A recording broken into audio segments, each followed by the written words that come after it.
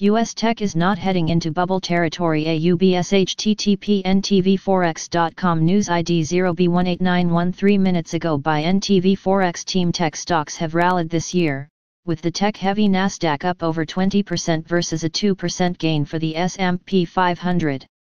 While economists at UBS don't think tech is entering bubble territory, they do think investors with a concentration in the biggest recent winners should rebalance and reposition that exposure.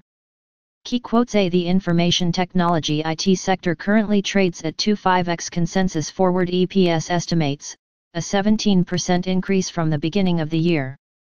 However, using the tech-heavy Nasdaq composite as a proxy, valuations are clearly well below late 1990s levels, when the index forward PE rose above 70x at the height of the dot-com bubble.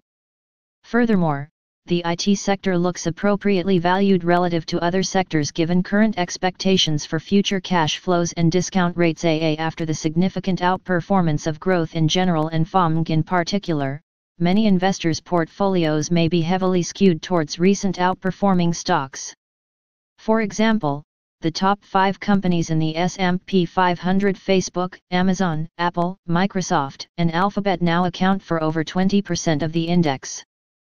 This doesn't necessarily mean that these stocks should be sold, and we still like most of the FOMG complex.